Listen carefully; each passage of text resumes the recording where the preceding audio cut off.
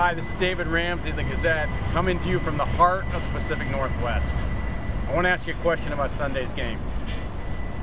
Do you believe the Broncos can beat the Seahawks? Okay, I'll give you a second to think about the, the answer. My answer is no. I don't believe the Broncos can beat the Seahawks because the game is being played in downtown Seattle. If the Broncos could play the Seahawks in Denver at Mile High in front of their, all their you know tens of thousands of supporters, I would go with the Broncos. The Seahawks have won uh, 16 of their last 17 games at home, and I think that's going to be uh, they're going to get another one on on Sunday. It'll be 17 of 18.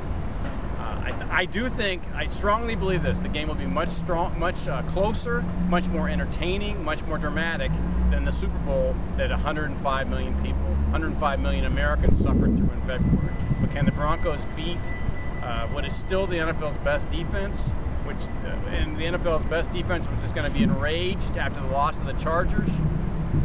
No, I'm sorry, I, I don't, I don't believe that.